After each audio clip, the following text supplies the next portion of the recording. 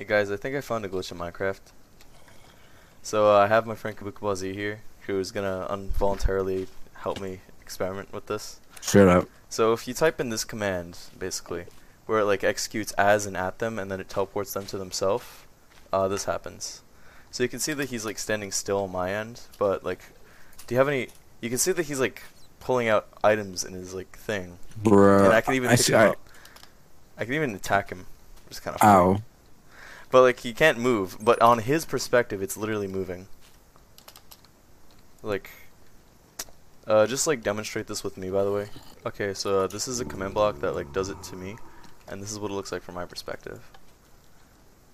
So like it's a little bit like jerky in the movement and stuff. I can still drop items, but like I can even pick up items, but like they drop where I am over there. Yeah, so make it do that, Frank.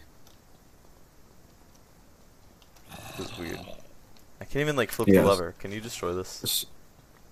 Thank you. So uh, it will do that, and then it will say on your screen your brain has been hijacked.